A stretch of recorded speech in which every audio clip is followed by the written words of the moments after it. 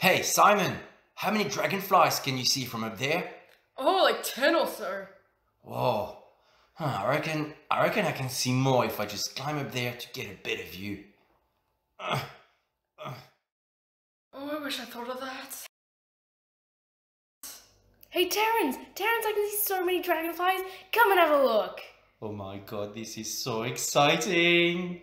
Uh, Over there, see? Simon, start rolling. Yes, boss. oh my god. Is he talking about ants? Ten? Ten dragonflies. That's pathetic. I can see 100 dragonflies trotting along carrying dead leaves. They're not dragonflies. They're, they're ants?